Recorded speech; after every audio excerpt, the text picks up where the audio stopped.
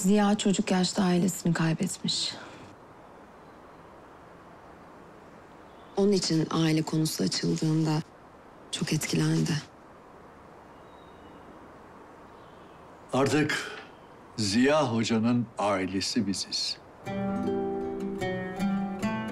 Yalnızlığını ve kimsesizliğini bizimle unutacak.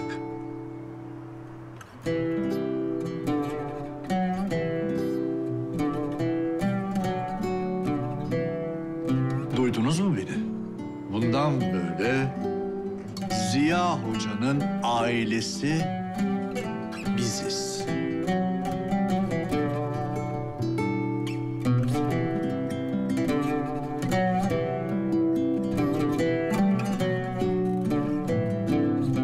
Anlatabildim herhalde değil mi?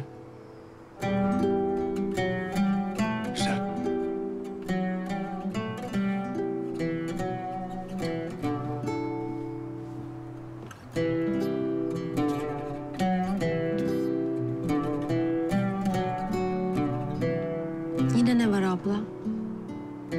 Sen bilmiyor muydun Zehra? Neyi? Bu kadar önemli bir şeyi bize nasıl söylemezsin ya?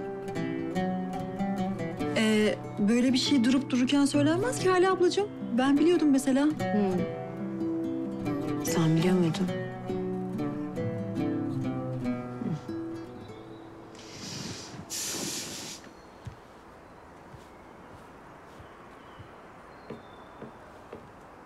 Ee, Zehracığım gel ben sana bir şey söyleyeceğim.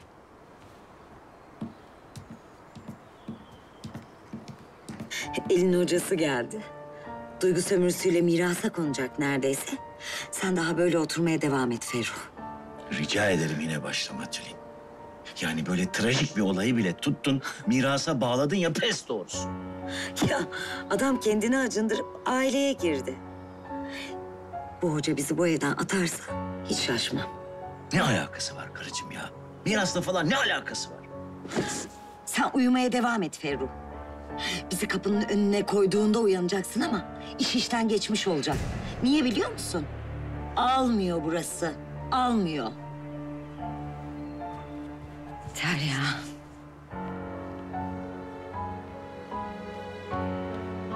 Almıyor.